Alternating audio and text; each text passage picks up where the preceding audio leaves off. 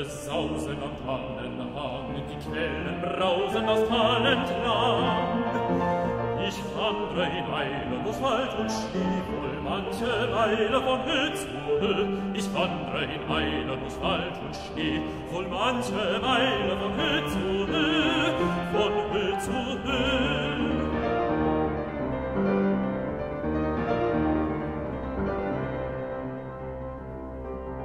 wildes Leben im freien Tal sich auch schon heben zum Sonnenstrahl. Ich muss vorüber mit vielem Sinn und blicke lieber zum Winter hin.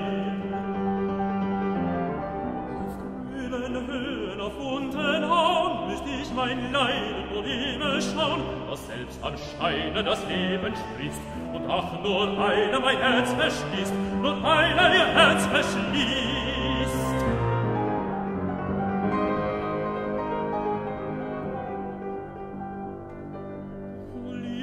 liebe o mein du drängst die triebe aus baum und strauch die vögel singen auf grünen höhen die quellen springen bei deinem wehen. Die quellen springen bei deinem wehen.